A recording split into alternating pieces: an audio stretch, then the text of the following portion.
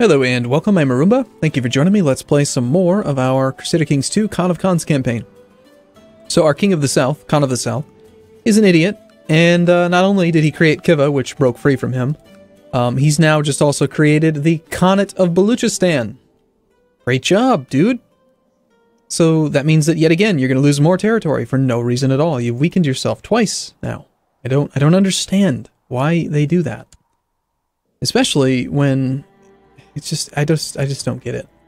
It's it's like against the AIs. It doesn't help them in any way. They just shouldn't do it. All right, we're almost an adult, which means that we'll be able to do fun things. The Khan of the North has available for us only 8,000 troops. Could only provide us with up to 12,000. The North's not actually that strong. Khan of the West owns some land up there, which is really weird. Khan of the West is also not providing us with very many men. Um, altogether, though, we do have 40,000 if we just raised everything. I just, I like using individual vassals armies when possible because then you can release them individually and let them replenish individually versus just raising everything and then, let, and then getting it all mixed together. Because that requires you to kind of unmix it, which is messy. So we're going to leave the Khan of the South's army alone for a bit, but the West and the North are available. So what we could do is just raise the North here here-ish and the west here and then use their armies against somebody. Also, Georgia, how many do you have? 1,600, that's nothing. Well, I say we use the west and the north against... Who? Hey, the north can be raised all the way up in there.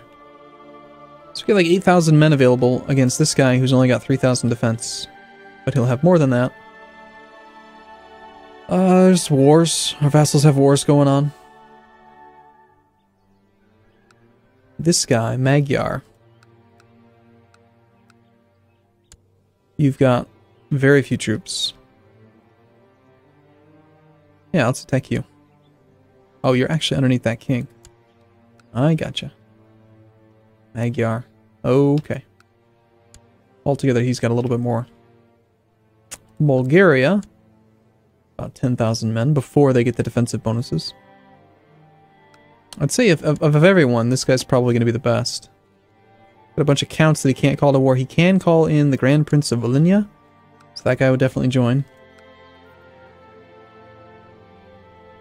I don't know why I'm really worried about the numbers. I just, I want the war to be easy and quick. So, let's declare that war. We'll raise the north. We'll raise the west. Grab our leaders here.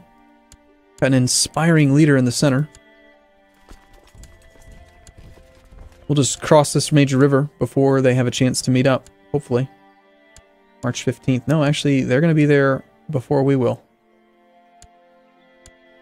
So we'd rather not cross that major river then.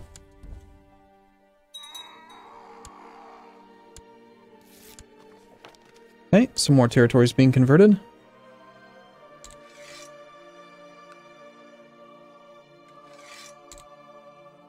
Rid of that Sunni nonsense.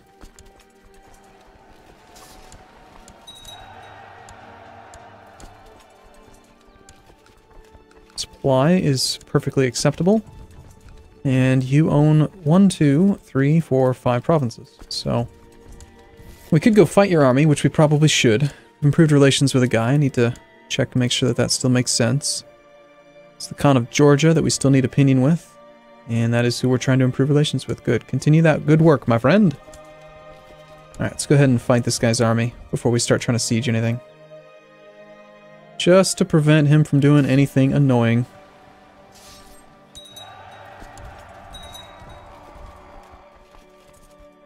How's the southern Khan? Bring me, bring me men. Bring me horses. You have 25,000. Good. It'll spread you guys out, spread you guys out. Actually go you down to two. That one is cutting it really close. That one's not quite enough. Let's grab, uh, oh, can't really shrink that one. Can't shrink any of them, really. If we did split you in half, that is enough there. Barely. So we'll try. We'll try sieging them all. Actually, why don't we grab um, Ryazan and Bryansk, just so we have a few extra troops over here. Erase uh, and Kiev. Nothing from Peryaslav. What's up with that? It's got a skilled tactician.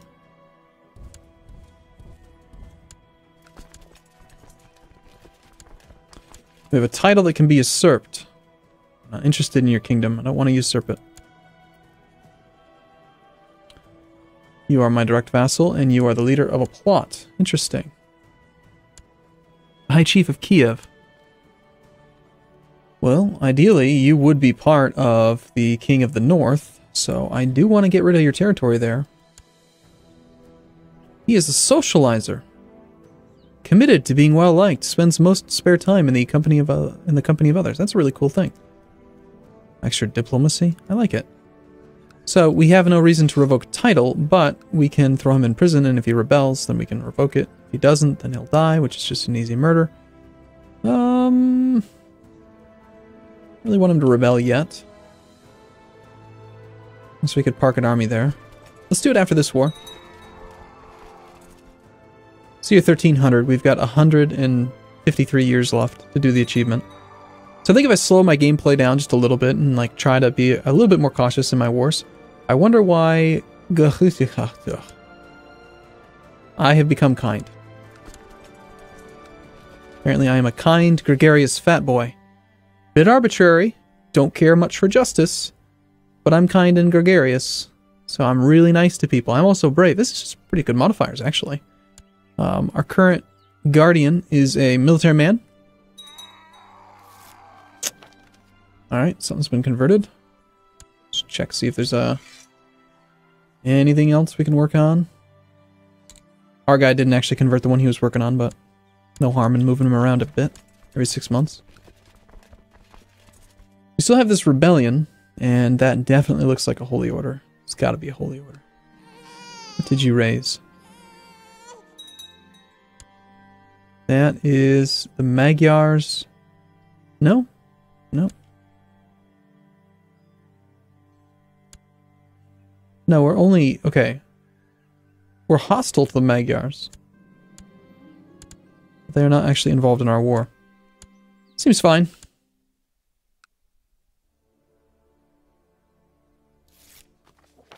Good work. You secured the realm. Let's go work on the Khan of the North. What's he all upset about anyway? Large feudal tax, raised levies. You know, large feudal tax. I had to do that, and we, we do need it. We need the money. But certainly does affect the way people think of us.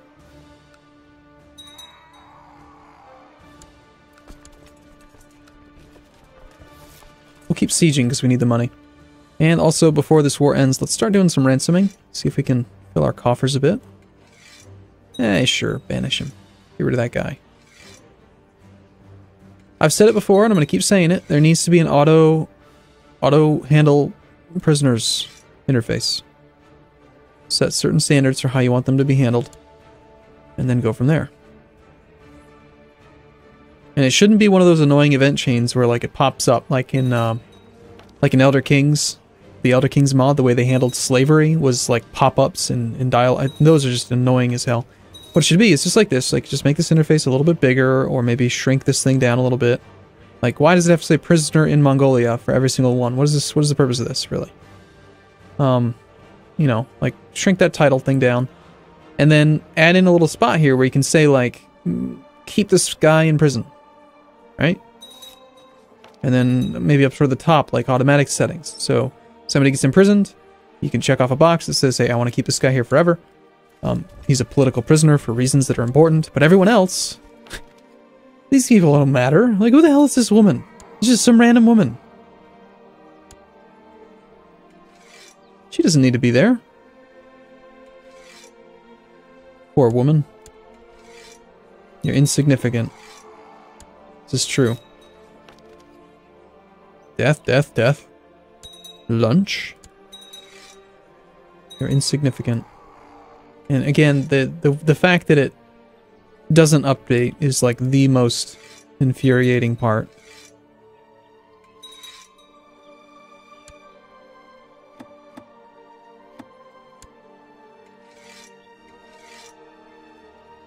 Needs to be approved. Oh god, I still have a regent?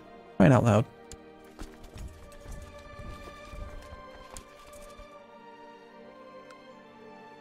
Oh, okay, we do have them at 100%. You know what, I need the money. Let's just finish the sieges. Once we break through those top holdings, it's just so juicy. And they're fairly quick. Extra six months to make quite a bit of money. I think I'll I think we'll do that. You know what I kind of want to do? I want to play in a in a situation. I want to. I'm going to do another achievement probably for my next run, but I want to play in a situation where we don't have access to an overpowered Casus Belli, and uh, I want to. I want to play in a way that's like I need to be able to strategically expand. I want to build holdings, and I want to want to do technology, and I just think that that'd be pretty fun. That could be pretty sweet. Now we decline your surrender. We decline to acquiesce to your willingness to no, no, Okay, I believe that one of your vassals can be discouraged from... Uh, okay, Khan of the North. We are we have the ability to obligate him, which is to remind him of his duties. The fact that he's just means that he will definitely say yes. He's not going to like us for it, but he will say yes. He has to. Thank you for reminding me of my duties. You're right. Get the hell out. Stop factioning against me, you bastard. Okay, this one will assault. 10 to 1 odds. And these two we will allow to finish. I'm not going to siege that last barony unless it's got very small defense. 400 men. Yeah, let's pile a few more troops there. We'll assault it. And before we actually end the war, we should also try to ransom the prisoners. Since they become useless the second you end the war. That'd be another thing that'd be kind of nice. Like, maybe some way to deal with prisoners whose liege became... Like, if a liege if a character stops having their former liege because the liege lost his titles, perhaps those prisoners should do something. I don't know what, but they, they shouldn't bother me anymore. Alright, sweet. Pure victory. Alright, that is very obviously part of the North. So I know you're upset that I forced you out of the factions, and I know you're upset because I've raised troops, but guess what? It's all for a good reason. You, sir, are the proud owner, proud new owner of a brand new car. No, uh, a couple duchies, actually. Let's come to the west. That's not who we want. We want you. Here you go. You'll have that, and you'll have that. And I'm still holding on to these two for some who knows what reason. Yeah, really want is I want to secure this stuff and like not have annoying things. Let's build a city. Why not? Worst things you could spend money on. Okay, uh, Khan of the South has a full levy.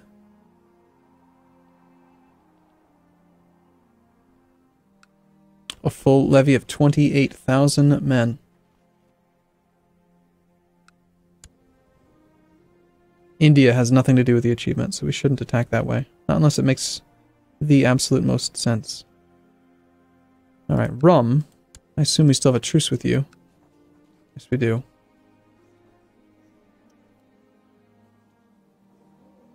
We're gonna have to attack this dynasty. I mean, eventually, we just we have to kill him. The only concern is that he's got 28,000 troops right now. Let's see. Do your vassals all really like you a ton already? Is that the thing? Alright, his strongest vassal has only 10 opinion of him. So, the way to look at it is like, okay, if we gave him 75 more opinion for defending versus infidels, then all of a sudden this guy becomes his favorite person in the world. If this guy was already at 100, then our declaration wouldn't increase his strength at all. So I'd say it'd be a lot. It'd be a big deal. He'd gain a ton of levy. The Byzantine Empire, on the other hand, has 13,000 troops, and they have... Yep, their strongest guy doesn't like them either. But we would have access to the west and the north and the Georgia and, and all the things.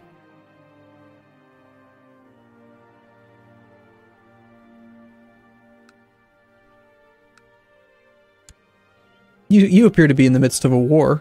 Let's attack you. Sure, why not? We'll attack this in this direction. I know. It has nothing to do with the achievement. I just want it. Just want their land. 21k, 22k. We need to find a really high supply province to start them off in.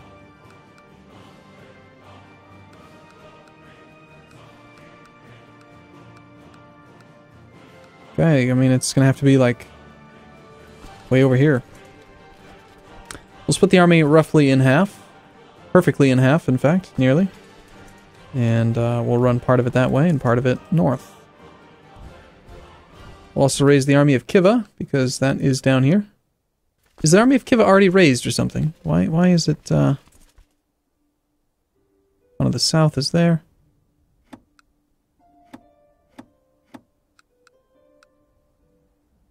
Maybe I already raised them. Nope. What's going on, Khan of Khiva? Oh, you know what it might be?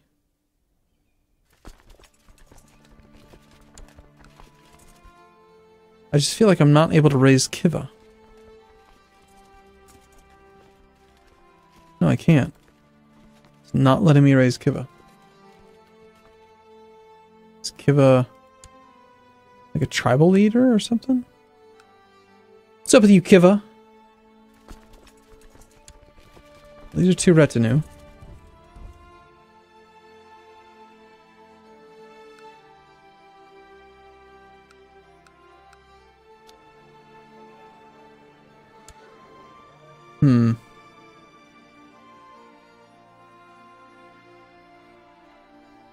I see no reason why Khiva should not provide us with troops, and yet I cannot raise their armies.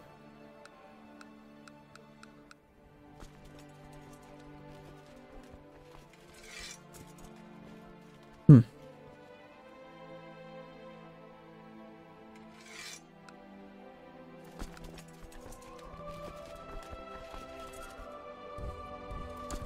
Don't know what to tell you. Okay, well, I'm going to take a break here. Next video, we will be turning 16, getting our our act together, attacking into India because, you know, that's just the way that makes the most sense to expand right now. It's the easiest conquest, although I really do want to beat this bastard. Alright, cool. Well, let's take a break here. I look forward to seeing you in the next video. Thanks for watching, everyone. See you soon.